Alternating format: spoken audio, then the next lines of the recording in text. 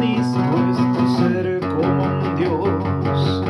que esté complacido en su propio mundo, su propia monarquía, en tu paraíso porno, gozando con el morbo, donde late tu cosmos, teniendo la moral como un maldito estorbo, haciendo oídos sordos. Domina y dicta todo a su antojo, quiere ver tu ojo, el ojo de tus ojos, sumar a la lista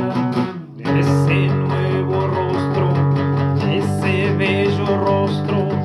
cultivando un jardín de las delicias, viviendo para el sexo en eterna lujuria, la moral.